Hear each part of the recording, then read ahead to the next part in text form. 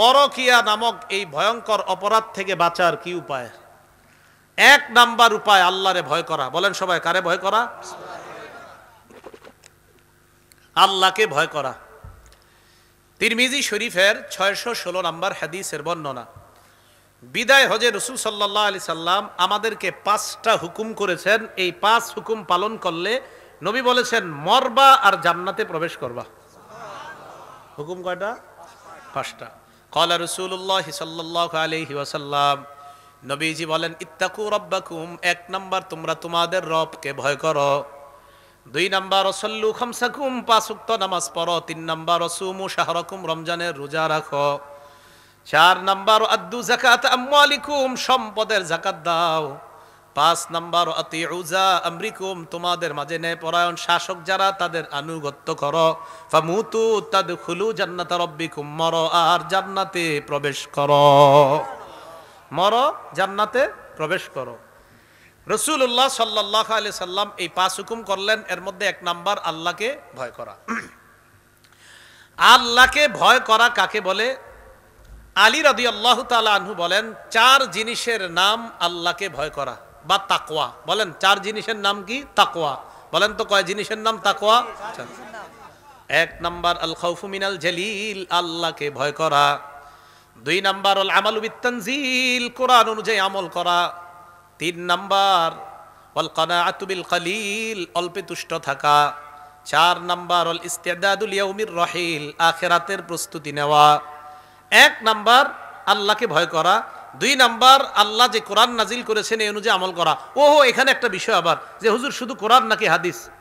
ঝামেলা লাগাই দিবে আবার একদম। শুধু কোরআন অনুযায়ী আমল করা মানে হলো, সুরে হাসরের সাত নাম্বার আয়াতে আল্লাহ বলেন, মা আতা কুমুর রসুল ফাখুজু নবী যা দিয়েছেন তা গ্রহণ করো। ওমানাহা কুমান গুফান তাহু নবী যা থেকে নিষেধ করেছেন তা থেকে তোমরা বিরত থাকো। তাহলে কোরআন অনুযায়ী আমল করা মানি সুরায় হাসরের সাত নাম্বার আয়াতটাও মানা। পুরা কোরআন মানা, আবার সুরে হাসরের সাত নম্বর আয়াতটাও তো মানতে হবে। পুরা কোরআন মানা মানি সুরে হাসরের সাত নাম্বার আয়াত আছে না এটার মধ্যে? তো সুরে হাসরের সাত নাম্বার আয়াতে আছে, নবী যা দিয়েছেন, তা গ্রহণ করো। নবী যা থেকে নিষেধ করেছেন, তা থেকে বিরত থাকো। ইবনে মাজার বারো নাম্বার হাদিসের মধ্যে আসছে, কলা রসুল্লাহ সাল্লাহ আলহি ওয়াসাল্লাম নবীজি বলেন নিউশিকুর রজুল মুত্তাকিয়ান আলা আরিকাতিহি। এমন একটা সময় আসবে, যে সময় মানুষ সিংহাসনের মধ্যে আসন দিয়ে বসে থাকবে। আর ভাব ধরবে, আমি অনেক বড় পণ্ডিত। পুরোটা শোনেন। এখন ওই ব্যক্তির সামনে আমি আপনি যাব, আমরা যাওয়ার পর। ইউহাদ্দাসুবি হাদিস মিন্নি। নবী বলেন, তার সামনে আমার হাদিস পেশ করা হবে। পেশ করার পর ওই ব্যক্তি বলবে, মিয়া, বাইনানা ও বাইনাকুম কিতাবুল্লাহ। আমাদের মাঝে আর তোমাদের মাঝে কোরআন থাকতে হাদিসের কি প্রয়োজন বলেন? নাউজুবিল্লাহ। এটা কে বলবে? স্বঘোষিত পণ্ডিত। যিনি কোরআনের পণ্ডিত, তিনি বলবে। এরপর তিনি আপনারে যুক্তি দিবে। মিন হারামিন হারামনা আরে, কোরআনে যা হারাম, এটাই হারাম মানলেই তো হয়। আপনারে বুঝাবে। তো আপনি বলবেন, ঠিকই তো। কোরআনে যা হারাম আছে, এটাই তো মানলে হয়। আবার বলবে, ফামা ওয়াজাদনা ফিহি মিন হালালিন ইস্তাহলালনা। কোরআনে যা হালাল, এটা হালাল মানলেই তো হয়। আচ্ছা বলেন তো আমরা কোরআনের হারামকে হারাম মানি কিনা? অবশ্যই। কোরআনে যা হালাল, এটাকে হালাল মানি কিনা? না মানলে তো ইমান থাকবে না। তাহলে কোরআনের হারামকে আমরাও হারাম জানি, কোরআনের হালালকে আমরাও হালাল জানি। আল্লাহর নবী বলে দিলেন, শোনো, এই কথা দিয়ে যেন তারা তোমাদেরকে ধোকা দিতে না পারে। আল্লাহ ইন্নামা হাররামা রাসূলুল্লাহ মিসলুমা হাররামাল্লাহ। তাদেরকে জানায়া দিবা, আমি রসুল যা হারাম করেছি, আমার হারাম করাটাও আল্লাহর হারাম করার মতোই হারাম হয়ে যায়। তাহলে বলেন, শুধু কোরআন নাকি শুধু হাদিস না কোরআন হাদিস? শুধু কোরআন, শুধু হাদিস না কোরআন হাদিস? এখন যদি শুধু কোরআন মানেন, এরা আপনারে কি ফেতনায় ফেলাইতে পারে? সুরায় হজের সাতাত্তর নাম্বার আয়াতে আল্লাহ বলেন, ইয়া আইয়ুহাল্লাদিনা আমানুর কাউ, হে ইমানদারগণ তোমরা রুকু করো ওয়াস জুদু সেজদা করো। কোরআনে আছে রুকু করো, ইমানদার। কোরআনে আছে সেজদা করো। কীভাবে রুকু করো? কোরআনে নাই। কীভাবে সেজদা করো? কোরআনে নাই। কোরআনে আছে নামাজ পড়ো। ফজরের নামাজ যে দুই রাকাত ফরজ, এটা কোরআনে নাই। কোরআনে আছে নামাজ পড়ো। জোহরের নামাজ যে চার রাকাত, এটা কোরআনে নাই। কোরআনে আছে নামাজ পড়ো। আসরের নামাজ যে চার রাকাত ফরজ, এটা কোরআনে নাই। কোরআনে আছে নামাজ পড়ো। মাগরিবের নামাজ যে তিন রাকাত ফরজ, এটা কোরআনে নাই। কোরআনে আছে নামাজ পড়ো। এশার নামাজ যে চার রাকাত ফরজ, এটা কোরআনে নাই। এটা কোথায় আছে? সুরে হাসরের সাত নাম্বার আয়াত, আমার নবী যা দিয়েছেন তা গ্রহণ করো। আমি কোরআনে বলছি নামাজ পড়ো। আমার নবী বলে দিয়েছে ফজর দুই রাকাত, অতএব ফজর ফরজ দুই রাকাত। আমার নবী বলে দিয়েছেন জোহর চার রাকাত, অতএব জোহর নামাজ চার রাকাত ফরজ। আসর চার রাকাত ফরজ, মাগরিব তিন রাকাত ফরজ, এশা চার রাকাত ফরজ। কেন? আমি বলেছি, আমার নবী যা দিবেন সেটা তোমরা গ্রহণ করো। শুধু কোরআন মানলেই হবে না কোরআনের আমার হুকুমগুলা আমার নবীর ব্যাখ্যা অনুযায়ী মানো। কি অনুযায়ী মানো? ফজর নামাজ দুই রাকাত কোরআনে আছে? না এটা কোথায় আছে? হাদিসে। বলবেন কোরআনের ব্যাখ্যা হাদিসে। বলেন ফজর দুই রাকাত এটা কোরআনে আছে? কোথায় আছে? না পুরাটা বলেন কোরআনের ব্যাখ্যা হাদিসে। কোথায় আছে? এইভাবে বলবেন তাহলে আর ধোকা দিতে পারবে না। চিন্তা করেন আপনি যখন শুধু কোরআন মানবেন হাদিস মানবেন না হঠাৎ একদিন আপনারে বলবে আচ্ছা আপনি কি করছেন? বন্ধু, কি করো এখন? আরে কোরআন ওলা আপনারে বুঝাবে। তা আপনি বলবেন, জোহর পড়ে আসলাম। তুমি জোহর বললা কয় রাকাত? তো আপনি বললেন জোহর আগে চার রাকাত পড়ছি, জোহর বললাম চার রাকাত, আট রাকাত, পরে পড়ছি দুই রাকাত। তখন আপনারা বলবে, তুমি না শুধু কোরআন মানো? তা আপনি বলবেন হ্যাঁ কোরআন মানি। তো কোরআনে কি কোথাও আছে যে এইভাবে চার পর্বা চার পর্বা দুই পর্বা এগুলো তো নাই কোরআনে কোথাও। আপনি চিন্তা হয় ঠিকই তো কোরআনে তো নাই, তাহলে তার মানাই দরকার নাই। ছলে বলে কৌশলে আপনাদেরকে নামাজ থেকে দূরে রাখার ষড়যন্ত্র এটা। এই জন্য কোরআন, হাদিস দুইটাই মানতে হবে। বলেন, কোরআন, হাদিস দুইটাই মানতে। আল্লাহ বুঝার তৌফিক দান করেন। বলছিলাম চার জিনিসের নাম তাকওয়া। এক নাম্বার আল খাউফু মিনাল জালিল, আল্লাহকে ভয় করা। দুই নাম্বার আল আমালু বিত্তানজিল, কোরআন অনুযায়ী আমল করা। মানে শুধু কোরআন? হ্যাঁ কোরআন, হাদিস। তিন নাম্বার আল কানাআতু বিল কলিল অল্পে দুষ্ট থাকা। চার নাম্বার আল ইস্তিদাদুল ইয়াউমির রহিল, আখিরাতের প্রস্তুতি নেওয়া। এই ব্যাপারে একটা হাদিস শুনেন। আবু দাউদের চার হাজার চারশো বিয়াল্লিশ নাম্বার হাদিস। কয়টা চার হয় হাদিসে? তিনটা। তিনটা। চার চার চার দুই। চার হাজার চারশো বিয়াল্লিশ। তিনটা চার না? একটা দুই। মনে রাখার জন্য। মাইজ ইবনে মালিক আল আসলামী রসুলের কাছে আসছে। বুরাইদা রদি আল্লাহ তালান তার আব্বা থেকে হাদিসটা বর্ণনা করেছেন। তিনি বলেন আন্না মাইজ আবনা মালিক আল আসলামী আতা রসুল আল্লাহি সাল্লাহ আলি সাল্লাম। মাইজ ইবনু মালিক আল আসলামী রসুলের কাছে আসছে। খুব মন দিয়ে একটু শোনেন আর নিজের একটু ফিকিরে আইনেন আসার পর কই ইয়া রসুল আল্লাহ লাকত জলম তু নাফসি আমি নিজের উপর জুলুম করেছি। নবীজি মন দিয়ে শুনতেছে কি বলে দেখি? হুজুর আমি নিজের উপর জুলুম করেছি জানাই তো আমি ব্যবিচার করেছি আমি জিনা করেছি। নাওজুবিল্লাহ এই গুনাহ থেকে আল্লাহ হেফাজত করেন। ওয়াইন্নি উরিদু আন্তু তহিরনি হুজুর আমি চাই আপনি আমারে পবিত্র করবেন। ব্যবিচারের শাস্তি আমার উপর প্রয়োগের মাধ্যমে আমাকে আপনি পবিত্র করবেন। আমি যেন পবিত্র অবস্থায় আল্লাহর কাছে যাইতে পারি। নবীজি, ইন্না রদ্দাহু রসুল্লাহ নবীজি তাকে ফিরিয়ে দিলেন, যাও, আন্দাজি কথা তোর, এগুলো তুমি করো নাই, যাও। লোকটা চলে গেলেন। পরের দিন আবার আসলেন। আসার পর বললেন লাকত জানাই তো হুজুর, আমি ব্যবিচার করেছি, আমারে পবিত্র করেন। রদ্দাহুসানিয়া দ্বিতীয়বার আবার ফিরিয়ে দিলেন। ফারসাল্লাহ রসুল্লাহ সাল্লাহ আলহি ওসাল্লাম ইলা কৌমিহি নবী একজন প্রতিনিধিকে তার এলাকায় পাঠাইলেন, যাও তো গিয়ে জিজ্ঞাসা করবা তো, এই লোকটার মাথায় কোনো সমস্যা আসেনি? আমার এসে বারবার কয়, জিনা করছে। নবীজির প্রতিনিধি এলাকায় গেলেন। যাওয়ার পর বললেন মাইজিবনু মালিক আল আসলামী কেমন মানুষ তোমাদের মাঝে? মাথায় কোনো ঝামেলা টামেলা আসেনি? জনগণ জবাব দিলেন, মা নালামুহু ইল্লা ওয়াফিয়াল আকলি মিন সালিহিনা ফিমা নুরা। আমাদের জানা মতে তার মাথায় কোনো সমস্যা নাই, পুরা ঠিক আছে। তৃতীয় দিন যখন হয়ে যায়, আবার আল্লাহ নবীর কাছে আসলেন, আসার পর বললেন, ইয়া রাসূলুল্লাহ ব্যভিচার করেছি, আমাকে আপনি পবিত্র করেন। নবীজি আবার তাকে ফিরিয়ে দিলেন, আবার প্রতিনিধি আল্লাহর নবী ওই এলাকায় পাঠায় যাওয়ার পর তিনি প্রশ্ন করলেন।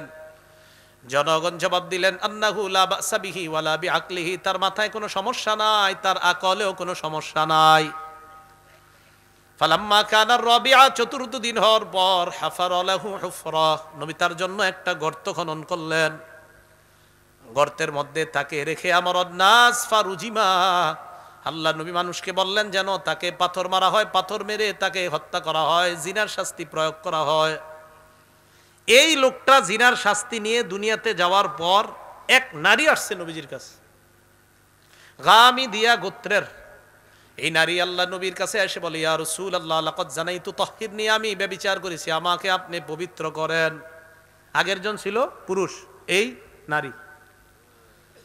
ইন্নাহু রদ্দাহা, আল্লাহ নবী তাকে ফিরিয়ে দিলেন, ফালাম্মা কানা মিনাল গাদ। পরের দিন ওই নারী আবার আল্লাহ নবীর কাছে আসলেন।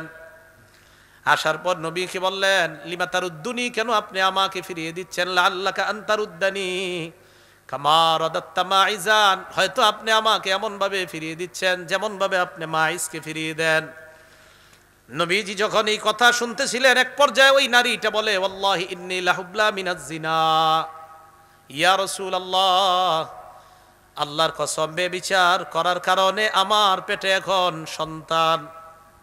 বেবিচারের কারণে? পেটে সন্তান। হুজুর আর কীভাবে বললে বিশ্বাস করবেন? নবীজি বললেন আচ্ছা ঠিক আছে। ইম্মাল্লাহ হ্যাত্তা তালিদি তাহলে এখন না যাও। তোমার সন্তান হওয়ার পর তুমি আসবা। এই জায়গায় একটু আসেন আমরা সবাই এই হাদিস থেকে শিখি। একটা ভ্রূণ হত্যা যেটা অবৈধ পেটের মধ্যে ভ্রূণ হত্যা নবী সমর্থন করেনি। করছে? সবাই চুপ। ভ্রূণ হত্যা সমর্থন করছে? আপনারা তো ডেলি করেন। ভ্রূণ হত্যা, নবী অবৈধ এটা অবৈধ একটা, অবৈধ ভ্রূণ পেটে। নবীজি এটাকেও সমর্থন করে নাই, বললেন, যাও, হাত্তা তালিদি, সন্তান হবে, পরে আসবা, পরে বিচার হবে। তাহলে কি বুঝলাম?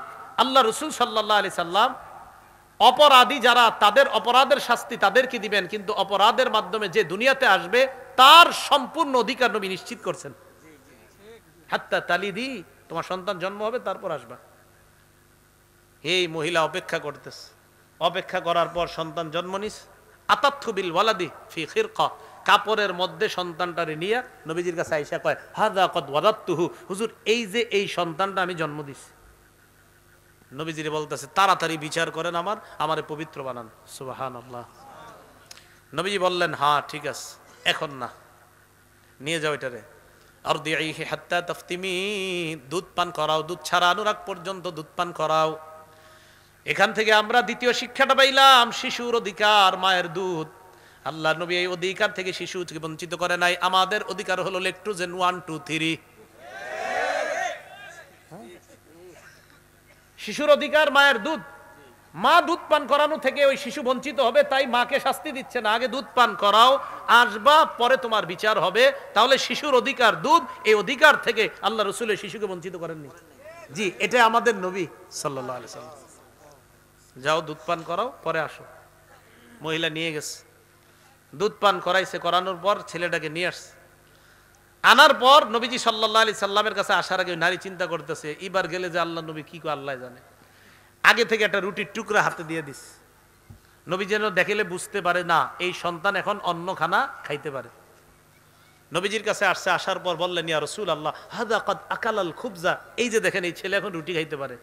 নবীজি বলেন হ্যাঁ এবার ঠিক আছে। দাফাস সাবিয়া ইলা রজুলিম মিন আসহাবিন নবী সাল্লাল্লাহু আলাইহি ওয়াসাল্লাম।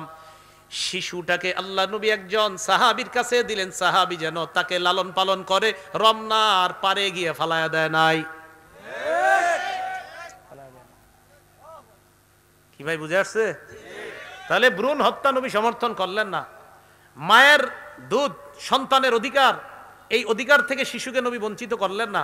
তিন এই সন্তানটা কোনো ডাস্টবিনের মধ্যে নবী ফেলে দিলেন না, একজন সাহাবিকে দায়িত্ব দিলেন লালন পালন করার। তিনি আমাদের নবী।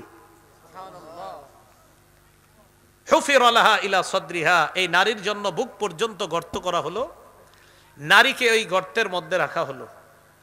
আমার অন্নাস ফরজামুহা। নবী জনগণকে আদেশ করলেন, পাথর মারো। পাথর মারা শুরু করল। ফায়ুকবিলু খালিদ ইবনুল ওয়ালিদ বি হাজারিন ফারমার সাহা খালিদ ইবনুল ওলিদ একটা পাথর নিয়ে আইসা ওই নারীর মাথা বরাবর মারছে। তানাদ্দ হাদ্দাম আলা ওয়াজহি খালিদ। খালিদ চেহারার মধ্যে গিয়ে ওই নারীর রক্ত পড়ছে। রাগ হয়ে গেছে। তোমার রক্ত আমার শরীরে আসবে কেন? খালিদ ইবনুল ওয়ালিদ একটা গালি দিয়ে দেয়। ফাসামিয়াত নবী সাল্লাল্লাহু আলাইহি ওয়াসাল্লাম সাব্বাহু ইয়া গালিটা আল্লাহ নবীর কানে চলে যায়। নবী ডাক দিয়ে বললেন মাহলানিয়া খালিদ খালিদ থামো।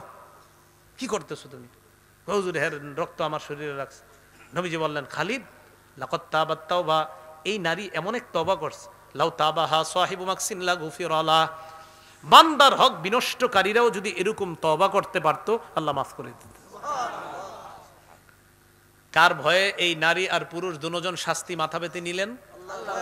আল্লাহর ভয় স্বামী স্ত্রীর মাঝে যদি দিয়ে দেওয়া যায়, তাহলে তাদের মাঝে গুনাহের আসক্তিটা কমে যাবে পরকিয়া, যেই ভয়ঙ্কর একটা অপরাধ, এই অপরাধ প্রবণতা কমে আসবে, ইলেকট্রনিক মিডিয়ার অপব্যবহার পাশাপাশি গুণা থেকে বেঁচে, আল্লাহর ভয় যদি তাদের মাঝে থাকে ইনশাল্লাহ এই অপরাধ থেকে প্রত্যেকটা পরিবার বেঁচে যাবে।